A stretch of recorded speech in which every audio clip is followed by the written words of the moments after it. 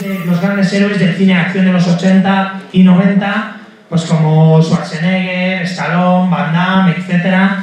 Y ha venido a la sección Documentras a presentarnos un avance de este documental donde hay entrevistas pues a gente imprescindible del cine de acción de los 80, desde Sam Firstenberg, que estuvo aquí en Cutrecon hace tres años, a gente como Mario Casar, también está en el documental, Steven de Sousa, eh, obviamente.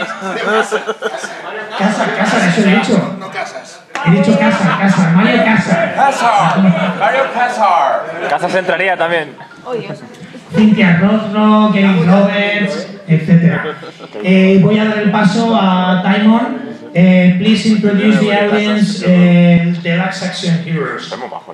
Uh, okay, so after I wrote my book, which I'm sure you've all bought, and if you haven't, it's out in the lobby, um, I was approached by uh, a YouTuber uh, called Oliver Harper, who specializes in doing reviews of action films. Tras, eh, tras escribir el... ¿Me las ha apagado? ¿Me las ha apagado? Pero se te escucha. A mí no me hace falta. Eh, ¡Yo sé proyectar!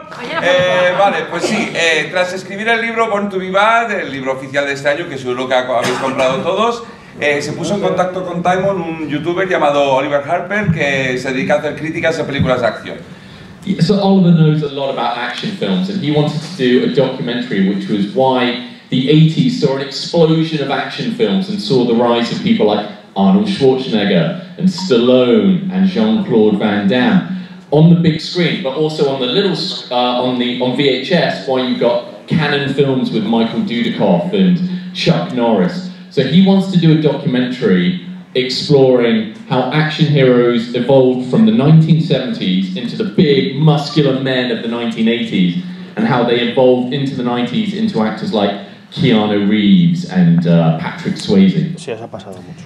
Pues entonces eh, Oliver sabe muchísimo sobre el cine de acción y pues quiere hacer un documental sobre, sobre la evolución de los, de los actores eh, pues con el boom en los 80 con estrellas de cine como Schwarzenegger, Stallone o ya en vídeo con la Canon, eh, Michael Dudikoff, Chuck Norris y, y quiere hacer una cosa que va pues como la evolución desde los 70 pasando por ese boom de los 80 hasta el 90 donde tienes actores como Keanu Reeves por ejemplo. So he kick-started the project we raised a lot of money and I was brought on board as a subject matter expert and because I had a lot of contacts from my book like Vernon Wells and Ronnie Cox who played bad guys in all these films I was sent to LA for two weeks to just do a host of interviews and as Carlos said I interviewed people that I've never seen in documentaries like Mario Kazar who ran Coralco Pictures and financed the Rambo films and Total Recall and allegedly gave Arnold Schwarzenegger a private jet just to produce Terminator 2.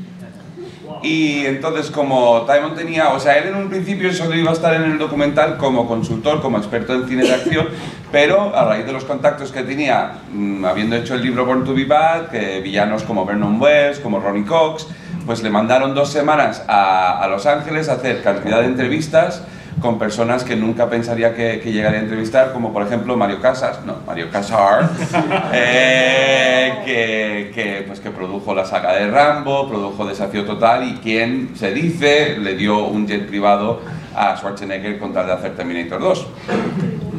So at the moment we're in post-production, we're editing it all together. You can still back the project on Indiegogo if you want to get it on Blu-ray or digital or get gifts and everything.